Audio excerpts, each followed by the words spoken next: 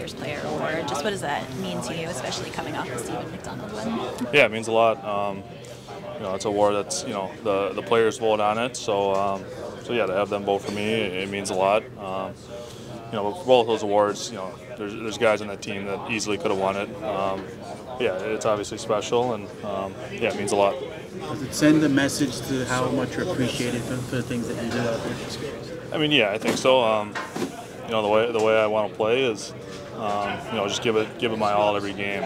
Um, you know, do whatever I can to help the team, and um, you know, I've learned from from the leaders on this team and, and other guys I played with. So, uh, so yeah, it's pretty cool to get the recognition. What, uh, as a team, I mean, just to sit and wait, is it kind of, kind of bizarre not knowing who you're playing?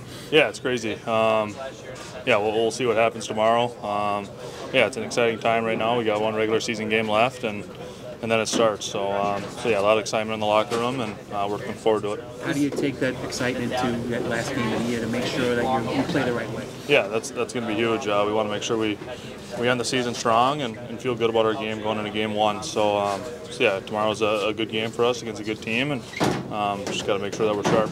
You kind of touched on this uh, a minute ago. You said because this the players' players voted on by the players. Does it mean more that because it's voted on by the players can sit instead of let's say media? Yeah, it means a lot. Uh, yeah, to, to, have the guys in this locker room vote on it and, and vote for me, it, it's pretty special. Um, yeah, it's an honor, and um, yeah, it just it means a lot for sure.